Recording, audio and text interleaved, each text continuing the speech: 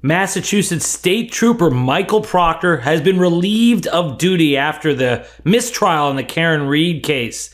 Let's discuss. I'm Dave Aronberg, State Attorney for Palm Beach County, AK, the Florida Lawman here on True Crime MTN. I want to thank you all for your likes, your views, your subscriptions. Please keep them coming. We're almost at 50,000.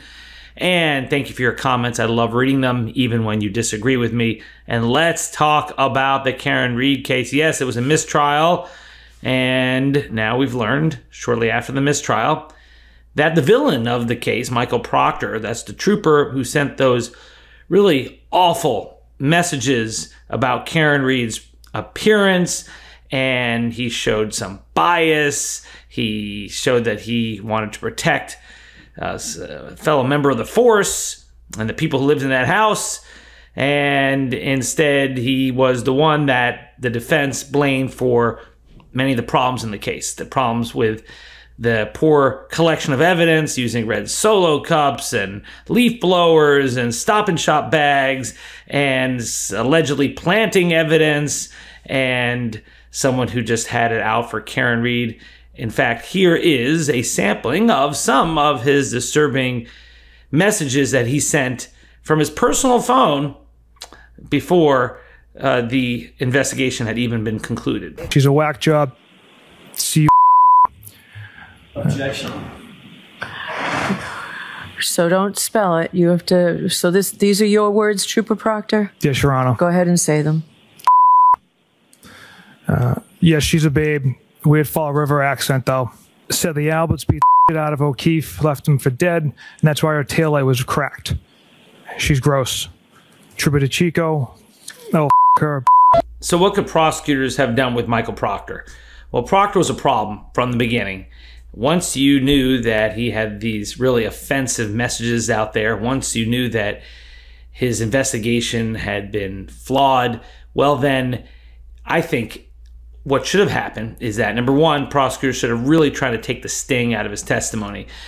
When the prosecution gave their opening statement and when they introduced other witnesses, they should have always kept Proctor in mind to try to alleviate the pain, to try to build a firewall around him, like the prosecutors did in the Michael Cohen uh, testimony against Donald Trump they knew Michael Cohen had some problems in his background, a felony conviction, for example, perjury conviction.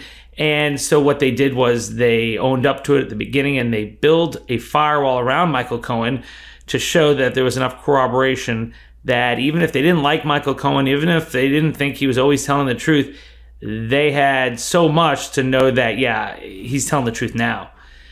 I think prosecutors could have done a better job at that in the Karen Read trial. When I say prosecutors, it was one prosecutor. Hats off to Lally. I know a lot of people were down on him, the prosecutor in the Karen Read case, but he did that whole thing himself. It's not easy to do. He was up against some real top notch defense lawyers, and he uh, competed with them to a draw in this case. And so, yeah, I thought Lally uh, actually did a lot better than people thought. But to back to what he could have done differently. He could have built that firewall more around Proctor, but it would have been tough anyways because what Proctor said was so inflammatory that it was going to piss off jurors, and uh, some of them reacted like putting their head in their hand and just they could barely look at the guy. But another thing the state could have done would be to divorce themselves from Proctor's testimony by encouraging law enforcement to cut ties with him. And that way, it wouldn't be just Proctor who you depended on for a lot of the evidence to be introduced, but you could also introduce the person who's now the new head of the investigation, the person who took Proctor's place. That could have been helpful. Plus, it also sends a message to the jury that the prosecution is not the same as the law enforcement officers. They're different, and the prosecutor should not be brought down by this one rogue officer.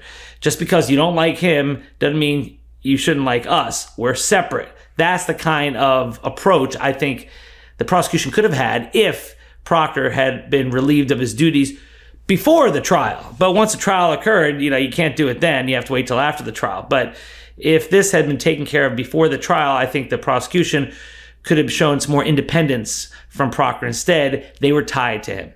especially because Proctor was still in charge of the investigation, was still the guy.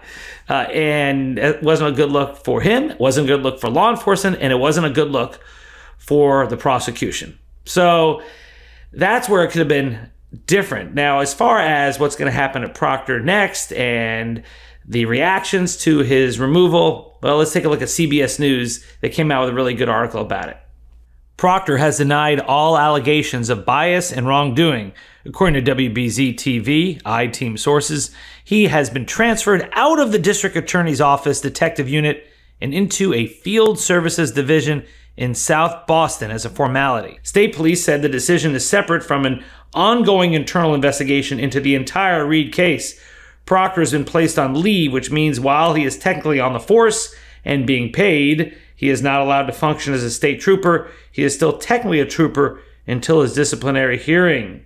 The hearing could end in one of four ways. He gets his job back. He could be suspended with pay. He could be suspended without pay. He could receive restricted duties. The State Police Union, State Police Association of Massachusetts, issued a statement on Tuesday.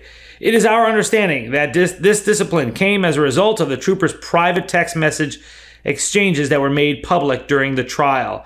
We also understand that it has no relationship to salacious allegations of cover ups, collusion, or conspiracies offered by the defense, they said in a statement.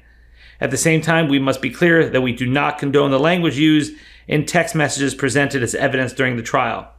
Uh, this reminds me of the O.J. Simpson case, where you had a detective, Mark Fuhrman, who was also villainized during the trial, and he had made some inflammatory comments himself, reportedly using the N word. And then, when asked about uh, his allegedly planting evidence at the trial, he took the fifth, which just just the whole thing was ugly, and it was a sideshow that took away from the clear evidence of OJ's guilt.